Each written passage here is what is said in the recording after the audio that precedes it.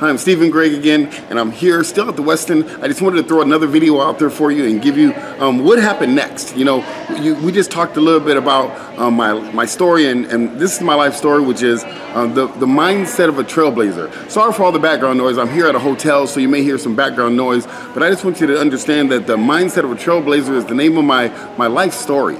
And I want to talk to you about a pivot point because in 1997 there was a pivot point in my life.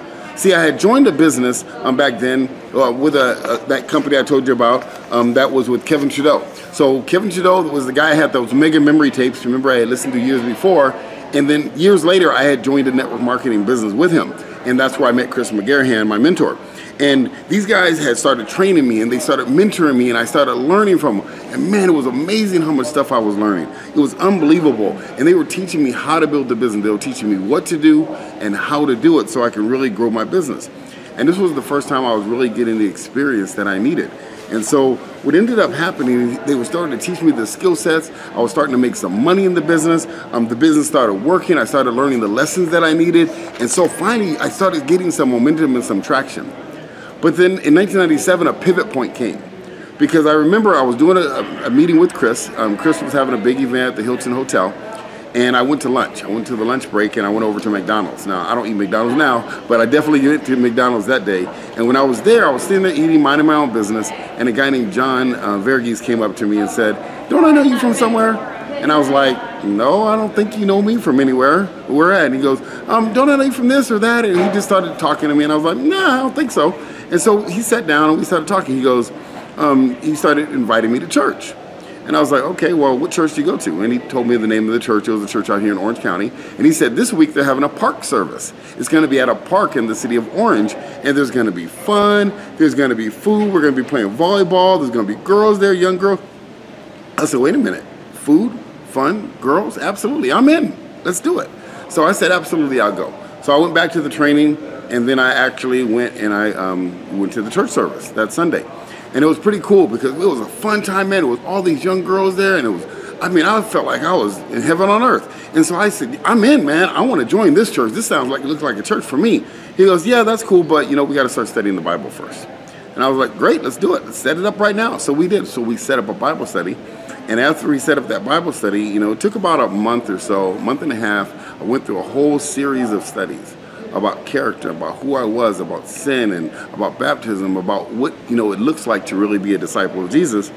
And it was interesting because after about a month and a half, there came a point where something happened. I, you know, I was scared because I was a very insecure man at the time. So they wanted me to get in front of the, the church and talk about some different things in my life, and I was scared. So I ran, and I ran for about two months. And then after two months, you know, I decided, you know, I want to go back and talk to John again. So I found John again and we started studying the Bible again. We went through the whole study series all over again. And then it was a, this was the pivot point. I remember it vividly. There was a time where Kevin had created an event in Palm Springs called Leadership Weekend, where they were going to start teaching all the systems of duplication, the same types of things I teach now in business. But that was a weekend I was going to learn this information. And it was the same weekend that John wanted me to go to an event with the church. So I had a pivot point. Do I go follow Kevin, my idol, or do I go towards God at the church? And I had to make a decision. It was a hard decision, but you know, I made it. I went to Kevin and I went to Leadership Weekend in Palm Springs. And I remember that weekend, I learned so much that weekend. It was unbelievable what I had to learn. I mean, I learned so much information and it was powerful and it changed my life. My business started growing. I started um, promoting into the company. It started getting bigger and bigger and bigger. And it was a really interesting situation that happened because after I went went to Leadership Weekend, I started learning how to teach it. I started learning how to train it. And for the next two years, I didn't see John. I didn't see him at all. And I went and I built the network marketing business. I really mastered the skill. I sat at Chris McGarrahan's feet every single week at the uh, at the Hilton Hotel. We have a 30, Thursday meeting, and I would sit at his feet and I would take notes with white paper and blue ink, and I would take those notes and I would become a student of of Chris. And I was learning and learning and learning from that guy. And Kevin Trudeau, everything he talked about, I learned. I mastered it. I got it down pat. And then something else happened. It was a trip because in 2000, I mean 1999, you know, life took a turn. Uh, I started. Um, me and Malcolm were living it, living together. We were having a time together here at the house. We were uh, and we were just friends, um, of course, living together. And I was dating this girl, and it was tough because, you know, I had a, still had character issues, and I was still out partying all the time, and I started to get really, really down again. And I was dating this girl, and when I started dating this girl, um, you know, it was tough because we, we didn't get along very well. So she had this cat, and she had to move out. I kept the cat. His name was Reese's. I love Reese's. He stayed. He was alive till 18 years old. But after that, my buddy, like I said, Malcolm, moved in with me, and you know we were friends and we were good friends and stuff. And then um, I started dating this other girl.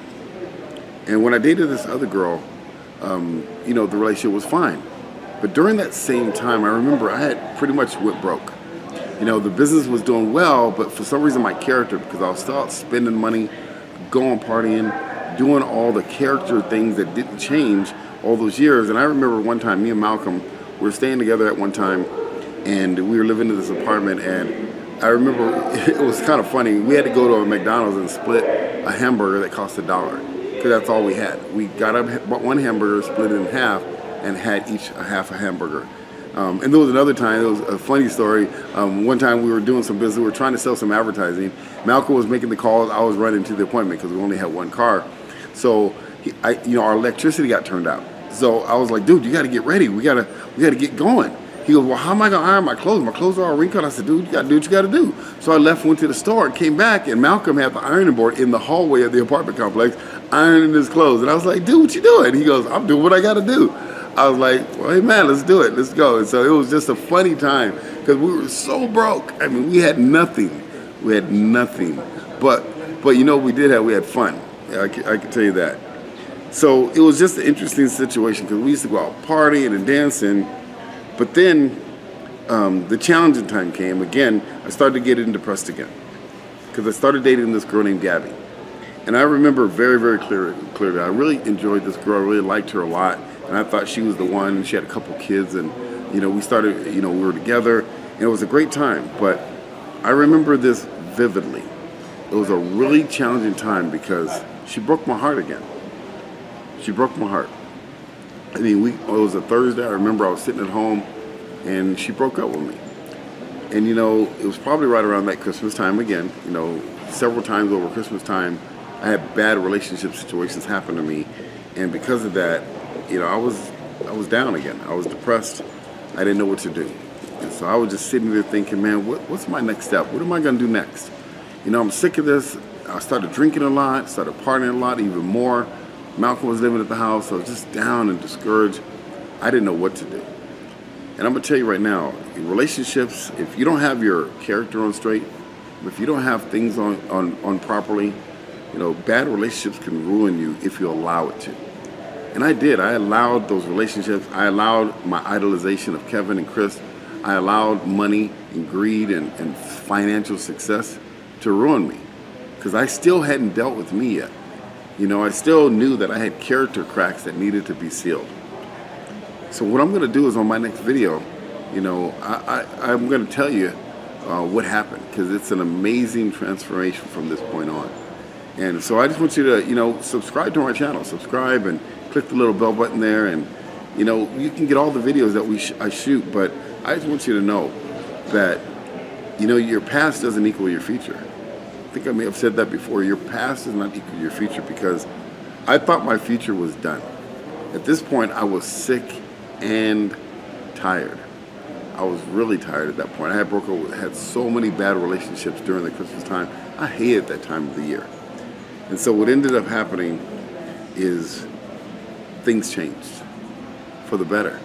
And I'm going to tell you in a minute what those things were. I'm going to tell you in my next video because I believe that what happened from this point on, God it intervened and it became, I became a different person.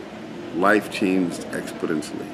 So again, thank you for watching The Mindset of a Trailblazer. That's the name of my videos. And I mean, this has been tough just even sharing this message from heart to heart with you. But I can't wait to tell you the next part because it's been unbelievable what's been going on. So I'm going to share it with you. I'll be back here in a moment uh, to give you the next video. Talk to you soon.